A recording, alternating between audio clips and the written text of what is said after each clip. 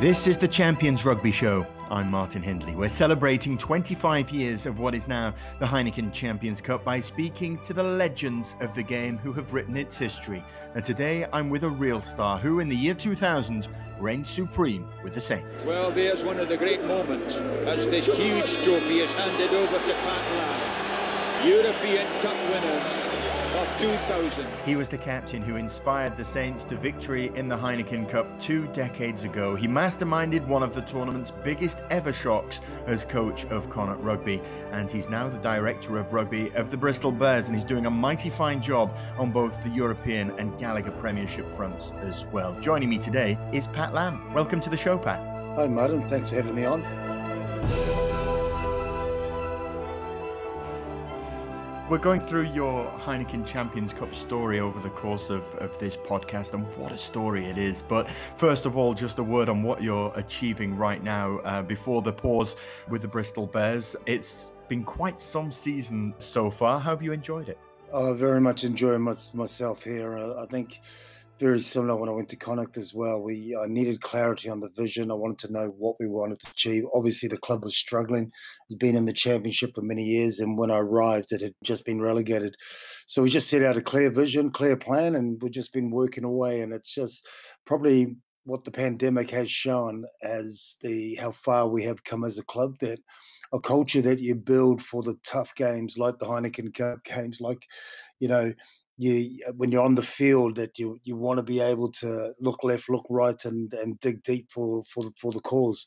You know, it's actually coming to fruition our culture through this pandemic, the way that everyone's looking after each other, the way that we're still communicating, and, and that's what it should be about. It's like a family, you know, a family's there for tough times, and and we're certainly in those challenging times right now we see that that culture stretches not just from the, the training paddock and uh, and on the on the field on match day, but also in uh, in your supporter base and the way that your fans have bought into what you're trying to achieve as well. How important is that to you as well as to to Bristol Bears? Because there are some similarities there with with what you achieved in in Galway as well, aren't there? It's a massive part of what we want to do. You know, the the vision was very clearly to inspire our community you know, through rugby success. What we do on and off the field, you know, we want to create inspiration. Where is that community? I mean, obviously, Bristolians, where are they? They're, they're everywhere. They're all around the world. And I knew that when I got the job. A lot of well wishers um, from everywhere saying, you know, they're right behind me. And then, um, and then, of course, you know, within the Bristol community, there's um, people from all over the world. So there's a lot of people that we can inspire by what we do. And and so we put a lot of effort into what we do on the field and off the field. And community is a massive thing. The amount of work players and staff do within our community. And we get that back twofold by then in turn the community, similar to Connacht, getting behind the team, supporting the team. We saw that in record numbers, um, you know, attending our games, um, massive supporter base, season ticket holders. We, we broke records there, sponsorship, everything's come back. And, and that's largely because of the work that everyone, players and staff, have put into uh, into our community, and, and we've we've we've reaping the rewards. And and obviously, the hard work we do and the rugby that we play and the style of rugby that we play uh, also helps in uh, in inspiring the, that community. And certainly, a trophy, which is you know obviously you know the ultimate. We set our goal very clearly. We want to be a Champions Cup team. We want to be a team that's always in there challenging for it and obviously winning it. Let's go back to when you first came to England to play rugby back in, in 1997, having been in New Zealand uh, with Crusaders and then swapping that for something very, very different in Newcastle Falcons. I mean, how what do you remember about how it came about and, and how you settled into to things up in the Northeast? Yeah, well, I was actually on tour with uh, Samoa, as captain of Samoa. We were, we were on a trip, and, and while I was in one of the games, I think we were playing a, a friendly game against Oxford, and I was I wasn't actually playing that game. I was getting a rest, but uh, Dean Ryan and uh, Steve Bates um, was were there in their Newcastle jackets and asked to have a quiet word and if I'd be interested in coming up here. And and I said, yes, certainly. And then Rob Andrew came over when we played Ireland at Lansdowne Road. I think we it was a night test, first ever night test, and we put 40 points on Ireland. So it was a good time to play well. And um, Rob asked Brian Williams, the legendary Brian Williams, our coach, if we had a down day, if uh, he could bring me to Newcastle and have a look around while we're on tour. So he did that. And I was really impressed, again, impressed by the vision with Sir John Hall and what they wanted to achieve up in the Northeast. And, um, you know, prof- rugby had only just gone professional. And, you know, again, very similar to um, I was inspired by that vision about you know, really making a difference in the north part of England, you know, where rugby wasn't as strong and so I, I came over at the end of halfway through that year. They're in the championship. We we won the championship, and the following season we won the premiership. So um, that's how it all began. Uh, you know, my, my journey over here, and it's uh, it's you know it's been a fantastic ride so far. Did success help you to to settle in England? Uh, I mean, personally as well as uh, as on the field. I think the big thing was that the team that Rob compiled uh, with players that have played a lot against them, you know, in, in, in, international rugby. You know, Gary, obviously, my, my good friend Inga Tuigamala signed a week after I did as well. So that made it easy. And then we had, um, you know, Doddie Weir, Gary Armstrong. Obviously, there's Rob and Dean and Batesy, uh, Alan Tait. The, the list just went on. And and um, so we had an older group, an experienced group, and and obviously Rob and uh, Dean were were player coaches as well. So we had a really good culture, but the team was certainly a very experienced team. We had young the following year we had a young schoolboy join us, Jonny Wilkinson. Um, he wasn't and, bad. Uh, yeah, he wasn't bad. I remember Rob saying, "Oh, we got this young fellow coming in. We can just make him welcome. He's just out of school." You're thinking, okay. He walks in there and he's so respectful and everything. But I remember the first time um, he was holding a tackle bag. I did one of my runs and he whacked me, and I thought, "Wow, this guy's got some." He's only a young fellow and wasn't much of him, but he could hit. And then you looked at his skills and his dedication. Realize. I remember saying back to uh, my friends in New Zealand, I said, "I think England's got a someone here who's going to be a superstar. He's the closest to a Southern Hemisphere ten that I've seen." And you know the rest is history really. But it was a, it was a wonderful team to come into, very experienced, and of course we, you know, we we dominated their championship year, and then we we had a fantastic run in the premiership.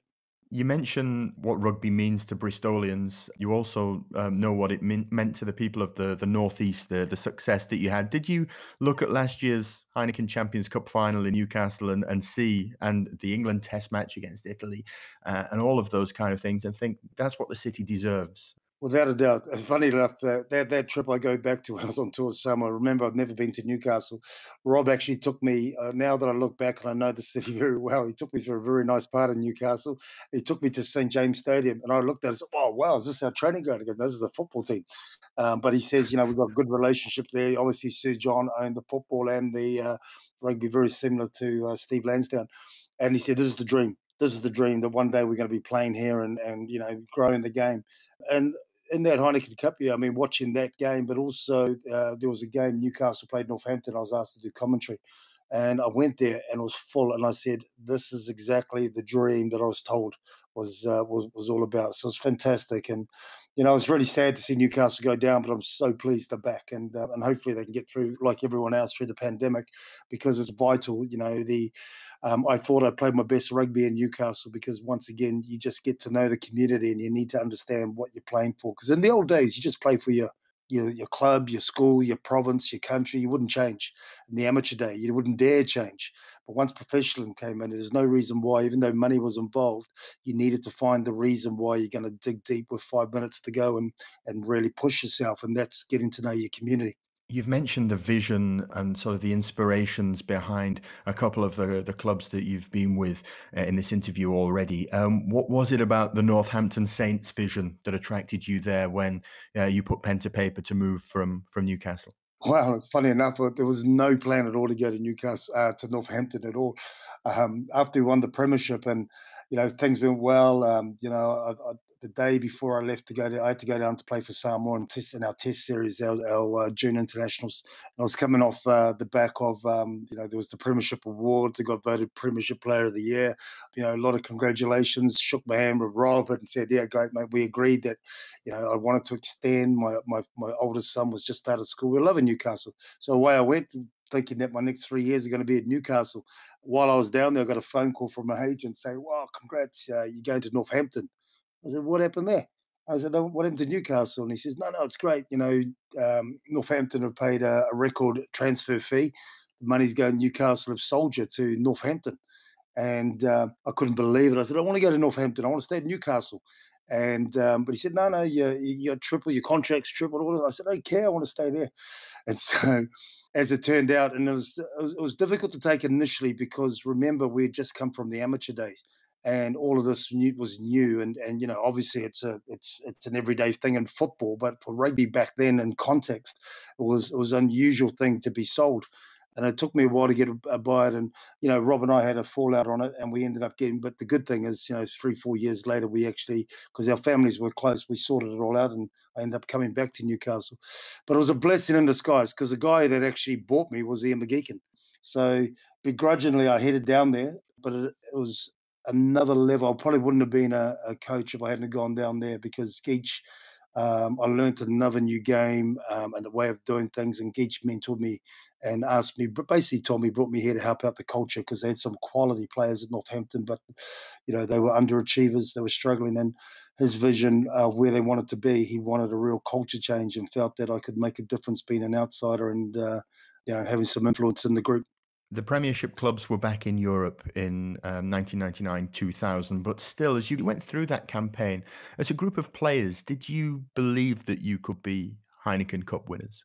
it was always Geach's dream, you know, when we came in, when we talk about the vision, you know, he wanted, you know, he felt that Northampton could be a team that could win the Heineken Cup. Um, and when I went there, the way that he, uh, his vision and the way he wanted to play the game uh, was was unbelievable, and the way we could play, and we played some really good rugby. So that first year there, when England, when the English teams weren't involved, um, it was ironic really because we won. Obviously, we, we were we just qualified and with Newcastle, and we and now we weren't going to be playing. But I was now with Northampton. But we previous year they had only come the highest they finished with eight, and we we were right. We ended up second, and we qualified for Europe. But that year was a fantastic year. We just missed out on it was the first past the post, I think, in those days. And we just missed out to Leicester. But we were playing some unbelievable rugby. Geach ended up going to Scotland. Um, and he had a meeting with his, uh, he called it his Magnificent Seven. It was Gary Pagel, um, Tom, Tim Rodber, Paul Grayson, Matt Dawson, Nick Beale, myself. And he basically said, told us he was leaving and then talked about, you know, he was involved in bringing in a new coach. Now, there were some big names he mentioned, but we were all of the opinion that we, our year before, we were playing some rugby that we had really good understanding with. We didn't really want to change that. And um, the other option was uh, an unknown, but known to the club was John Steele.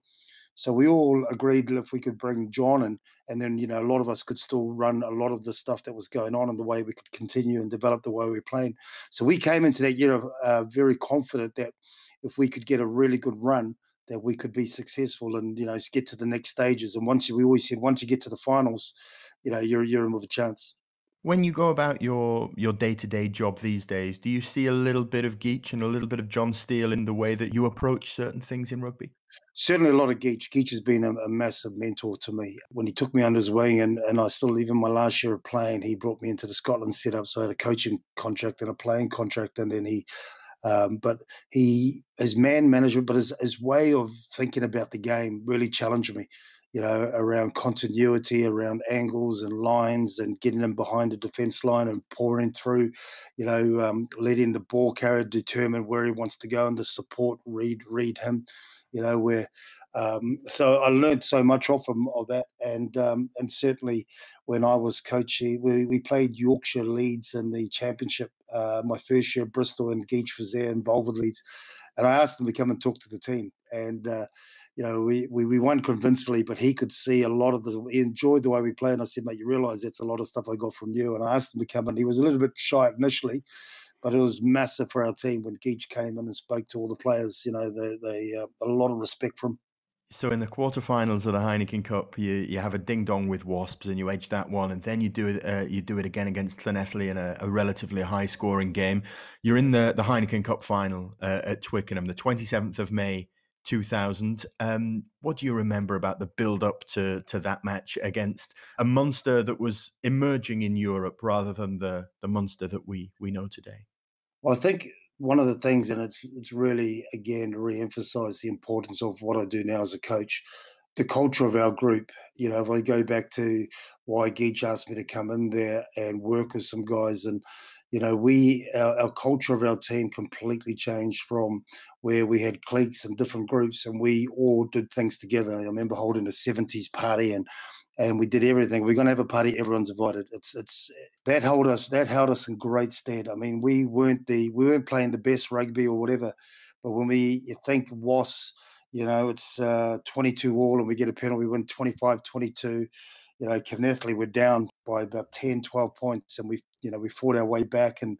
And Paul Grayson had a kick on the 83rd minute at 28 all, and we went 38, 31 28 we got to the final and we were pretty beaten up. A lot of us had injuries. Um, there was guys, Dawson, Matt Dawson was out, uh, Nick Beale was out, you know, and we knew this is the last game. You know, we were fighting on three fronts.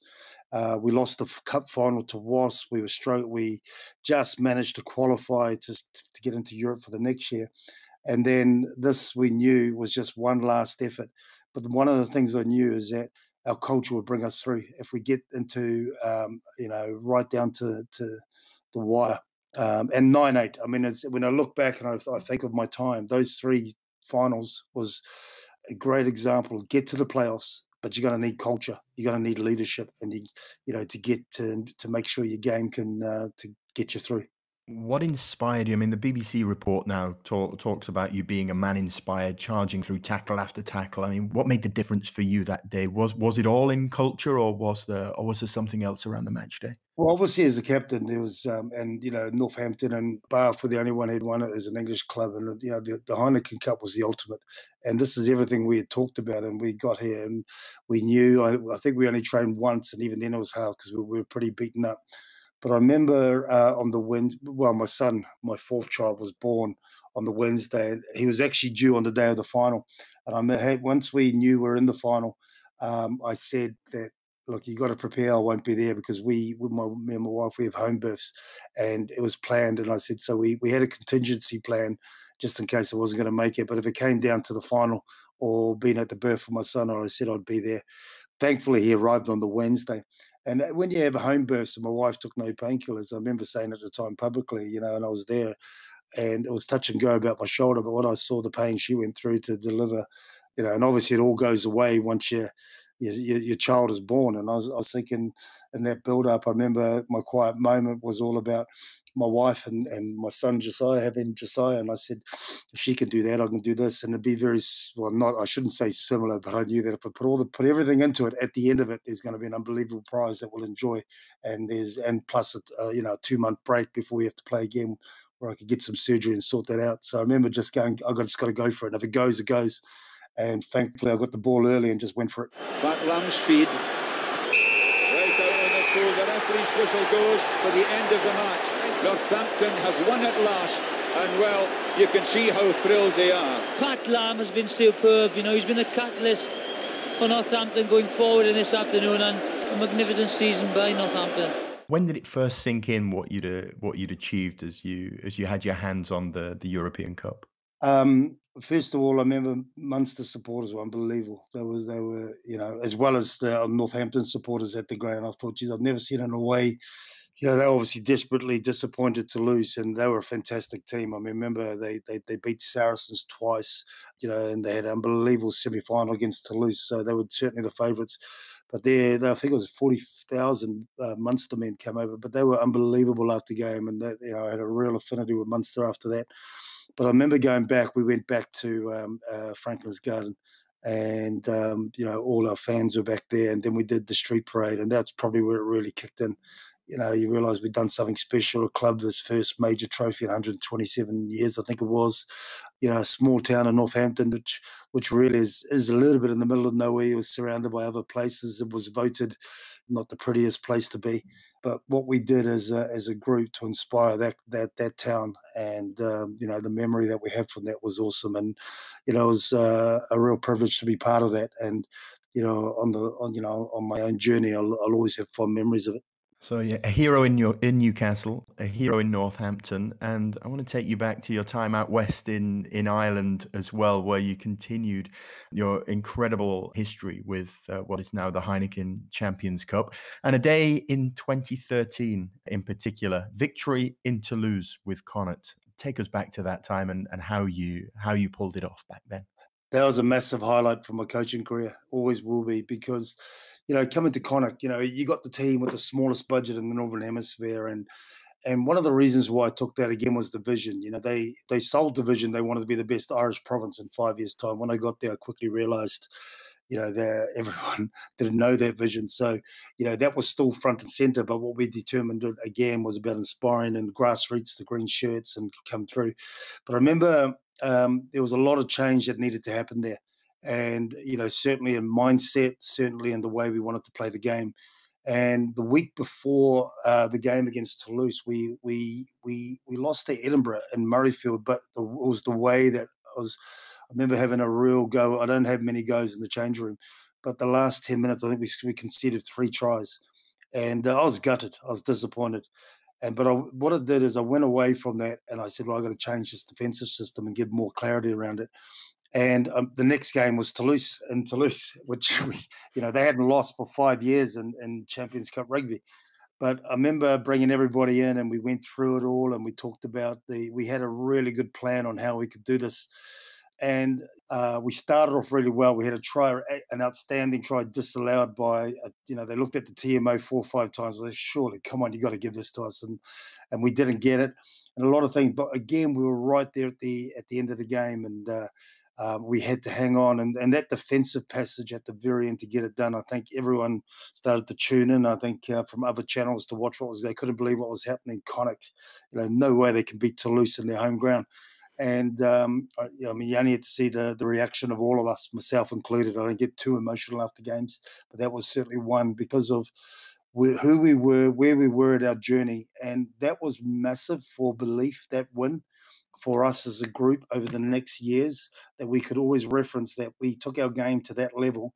But for us to get to become a team that we ended up being a few years later, we needed to understand the consistency we needed to be at that level, consistency of the way we train, prepare. And it was a massive moment for Connacht Rugby.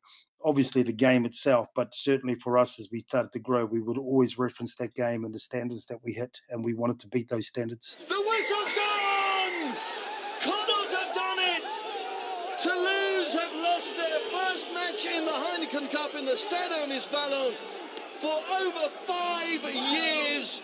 What a game! What a special day in Connacht's history. They've held on. Well, we said it was David versus Goliath, and David has won. What an incredible performance by Connacht, and so richly deserved. Do you believe that you managed to make in winning the Pro 12? And I'm thinking of sort of like key moments in, in European matches, like the clock in the red zone uh, against Wasps, for example, uh, in Galway. And you had leadership from from the likes of, of John Muldoon. Do you, do you believe that you were able to craft on the field a reflection of yourself and your own career in a way? I think one of the things that I've learned, and you know, it's in my philosophy, is that there's there's three non-negotiables um, in rugby that I've learned because I've been very fortunate to be in some very successful teams as a player and as a coach, but I've also been very blessed to be in some some not so great teams, some horrific teams. And one of the things I come away when I, I look at and do my comparison, I quickly realize there's three things that are non-negotiable and um, I probably realised this even more after my time at the uh, the Blues when I got sacked, and and is that you got to have a really good game, a game that can beat anybody, any team. And I'm not talking about the players or the individuals. I'm talking about your game, um, how to play the game, and you can't think. You know, you got to look at well, who's the best team in the competition? Can we beat them? Who's the best team in the world? The All Blacks, England, South Africa. Can we beat them? You know, can my game beat them? And then you bring the players in to be able to come up to the game, which means you've got to have good staff to skill them to come up and play the game that you want to play. Um, and we, the second thing, culture. You can have a fantastic game, but if your culture is not great and people don't enjoy being there, it's never going to work. Likewise, you can have a fantastic culture. Everyone loves being there, but your game will only win certain things. It won't win championships.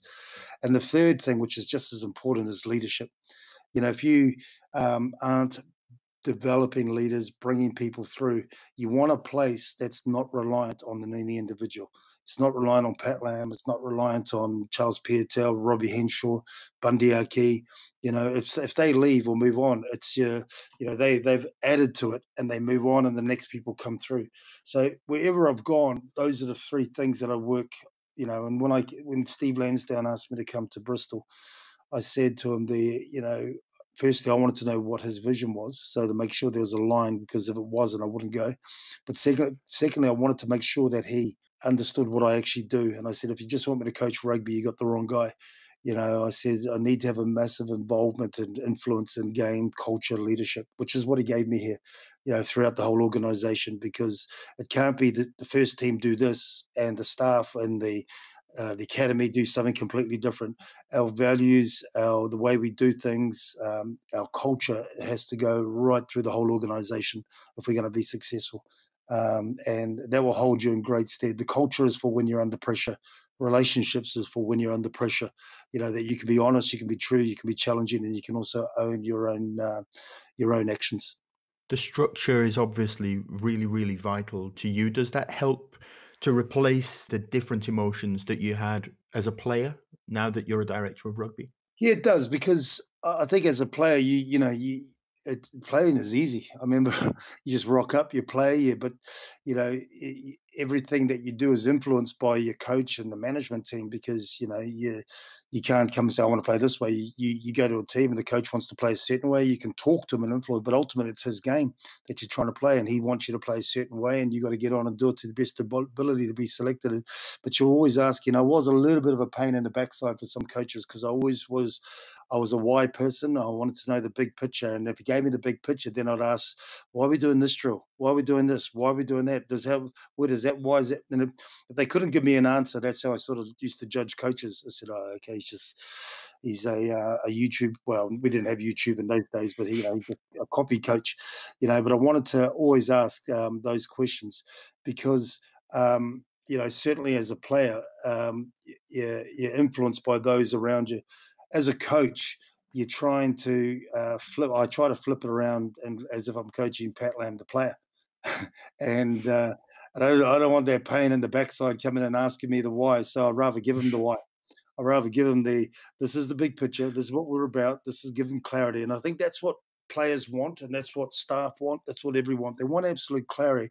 And I would always say that, you know, certainly when I do recruitment and retention, I give everyone the big picture because I say, I'm not asking, you don't have to come here, but I want you, if you do come here, have real understanding of what we're trying to achieve. And then everything else makes sense, you know, whether that's, oh, we're having a, uh, a barbecue here, or, or, we're having a um, going bowling, or we or we or we're playing, or we're doing this sort of drill. They can all understand where it all fits in, and that's why I give every player and staff my coaching philosophy. So I don't want them trying to guess, oh, what's Pat Lam like? What's he doing? Why is he doing that? I'd, I'd like it all out in the open.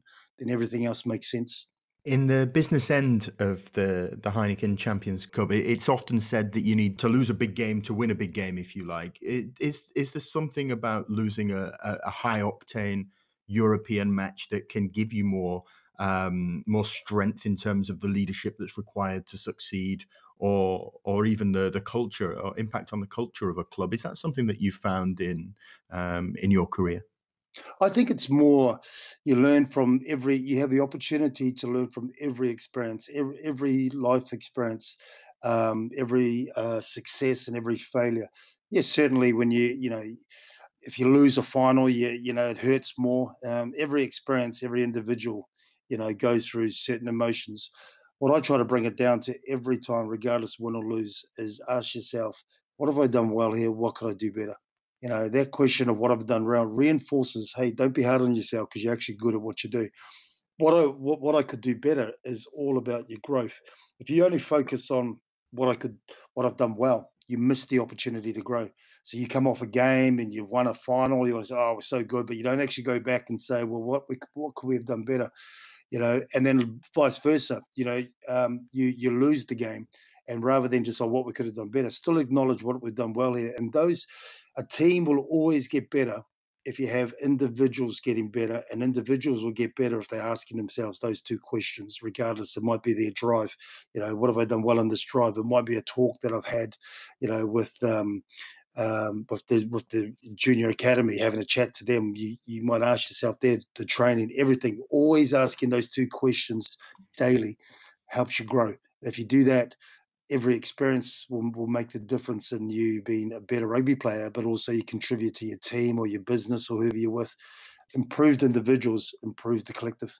What would you say is is your legacy to date in the the Heineken Champions Cup, and um, with all of the things that that you're you're talking now about your philosophy with Bristol Bears, what do you still want to achieve in Europe's premier club competition? I, think what happened, like I'll be honest, when I arrived up in '96, I didn't really know much about the European Cup. It obviously just started. You know, obviously everything was Super Rugby had just come in, but before that, it was all rugby in the Southern Hemisphere. When I arrived, I remember when we won the uh, 90, uh, 96, uh, when we won the championship, you know, the first glance I got, I think Brive won. And I thought, all right, geez, okay, this is massive over here. And then I remember the Bath won the year we won the Premiership. At Newcastle Bath won that, and that was a massive thing for English rugby. And so it, it sort of painted some real realization as you you know I spent six years as a player and then coming back here. The Heineken Cup, the Champions Cup, is the ultimate in European rugby, Northern Hemisphere club rugby. So it was no coincidence when I came to Connacht and then to Bristol. You know, they were all about you know, people were talking to me about survival, about avoiding relegation. Certainly in mm. Bristol, in, in Connacht, it was about you know being the best Irish team. And I was like, I set a goal. No, it's, it's Champions Cup. That's the standard. We got to be in there every year. When people look at a club, they look at Connacht or they look at Bristol. I want them to think, oh yeah, Bristol. You know, in, in 10, 20 years time, yeah, they're, they're, they're the team that's they're a Champions Cup team. They're the team that wins the Champions Cup. They're the team that dominates Europe, and and that's the standard. I want them looking higher than that. You've certainly entertained crowds, not just uh, in Bristol, but fans from across Europe with your performances in the Challenge Cup over the last couple of seasons. Um, just wondered, you know, at the end of a European day, what still makes you you smile and, and feel like you've you've achieved something special? What makes you you happy in those adventures? I just think it's fantastic to play the other teams. You know, people or there's always the argument the premiership's the better, top 14's the better, um, or pro pro 14. You know, this gives us a chance to play across travel, play those teams and, and one-off teams you don't play every time, and uh, I believe it's the next level down from from Test match rugby with the players that you you train and be with every day to go on those sort of battles. To go to France is never easy, and to win in France is always a massive celebration, even though it might be a pool game, you know. And um, you know, and, and for coaching, that's you know, for players, it's fantastic. But for coaching, being able to, you know, you tend to analyze and know a lot about the tendency of teams in your own competition. But then to say, okay, we're playing Toulouse, you know, this is going to offer us different challenges. So it stretches you as a coaching group as well. And we enjoyed our time in Challenge Cup and um, and I've enjoyed my whole experience in, uh, in, in, in, European rugby. Pat, it's been an absolute privilege um, to take a walk not only down memory lane but also into your philosophy and, and your style as a director of rugby. Thank you for all uh, the uh, the entertainment that you, you have given to us and continue to give to us in European club rugby. And we're looking forward to plenty more uh, once this current situation passes. Thank you very much to you, Pat, and all the best to you and to all at the Bristol Bears. Yeah, thanks, uh, and uh, stay safe, everyone. God bless.